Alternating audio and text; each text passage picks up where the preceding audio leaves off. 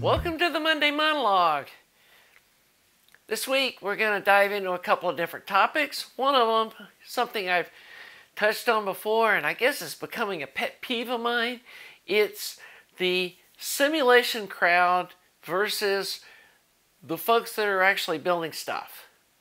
And when I go on a couple of the various forums, some of the more popular ones, I see a lot of people that they're just pumping out sim after sim of different things and they're saying, oh, this is going to be great because here's the sim distortion numbers and all that kind of stuff. And like I've explained to y'all before, distortion numbers don't tell the whole story. And secondly, it's a simulation of what the distortion is going to be. And several times people have, like with my 6BM8 project, there was a little bit of ringing on the square wave. And somebody put the whole circuit into a sim and said, oh yeah, if you put this XYZ PF capacitor across whatever, it'll get rid of the, rid of the ringing. And so I put the capacitor in like he suggested, and it just killed the amplifier. It sounded horrible. And he was right. Yeah, it got rid of a little bit of ringing and rounded off the front edge of the square wave, but it just also took all the life out of the amp. And so I'm just, I feel like that the simulation may be maybe a starting point but to be publishing schematics that people have never built and recommending that people, other people build them when they haven't even built it to see what it's going to sound like seems pretty silly. And then the other thing that I was really blown away about, there was some guy went to the trouble of putting together this really cool way of testing output transformers and he gave the results of several different popular ones, a Hammond and this other one, and uh, the Lundahl. And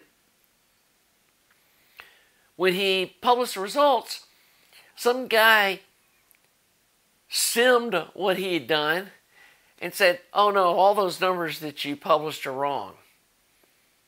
And he's like, But like, I tested the actual transformer.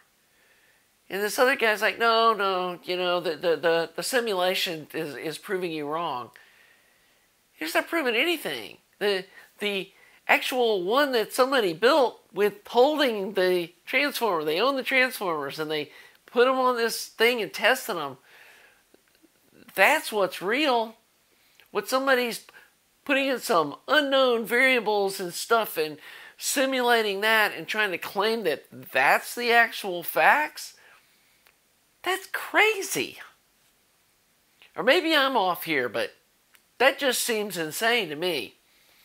And I don't know if these people have been on too many Zoom meetings or played too many video games or something and they don't understand the difference between like reality and virtual and that it's not the same thing and that we actually live in a real world, not a virtual one.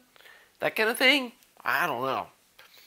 So anyway, that's my rant this week about the the simulation crowd. And hey, if you if you guys enjoy like being creative and simulations and you never want to actually build any of the gear that you're simulating and you think that's fun, have fun. That's great. But let's stop like pretending that those simulations are real because they're not.